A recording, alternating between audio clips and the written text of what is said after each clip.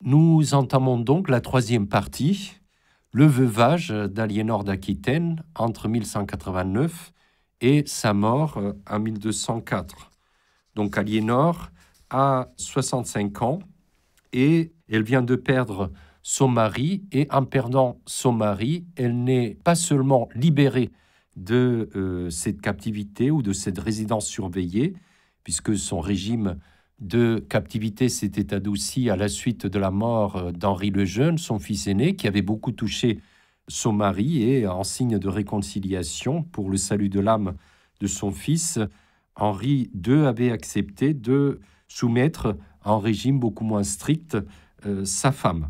Mais donc entre 1189, sa libération, c'est aussi l'époque où elle va accroître son pouvoir considérablement. Alors pourquoi ces pouvoirs accrus? Quelles en sont les manifestations d'abord?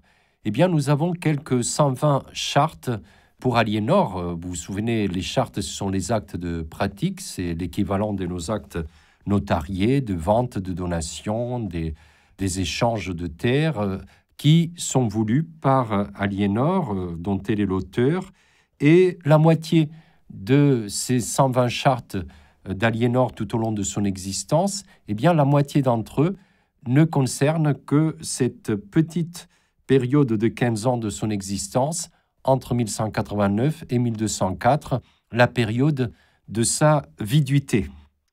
Et elle est devenue donc une veuve douairière, souvenez-vous, elle a un grand patrimoine qu'elle récupère à titre d'usufruit, et son mari n'est plus là pour contrôler toutes ces terres. Vous allez me dire, oui, mais il y a son fils, son fils Richard Cœur de Lion, qui devient roi d'Angleterre à la place du défunt, certes, mais Richard euh, Cœur de Lion partira très très vite en croisade. Les Anglais, qui parfois ont un sens de l'humour très poussé, considèrent que Richard Cœur de Lion est un mauvais roi parce que il a habité très peu en Angleterre, euh, surtout dans le continent, et puis vers la Méditerranée, euh, vers la Terre Sainte. Et donc ils disent, on ne devrait pas l'appeler Richard Cœur de Lion, mais Richard Gare de Lyon, puisque c'est la euh, gare où les trains partent vers le sud. Donc Richard n'est pas là, et en son absence, sa mère s'occupe véritablement de faire tourner le pouvoir de euh, gouverner l'Empire plantagenet.